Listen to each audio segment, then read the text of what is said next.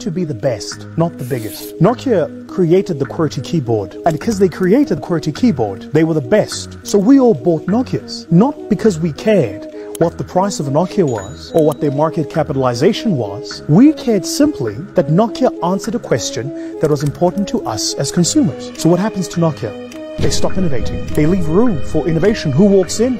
BlackBerry. BlackBerry walks in and says, hold on, we're going to give you the same QWERTY keyboard and ours is going to look just a bit better. And not only that, we're going to overlay it with a communication platform that allows you to communicate freely as long as you have data. And what did we do? We dumped the Nokia and we bought the Blackberries. Again, they fall into the same mistake.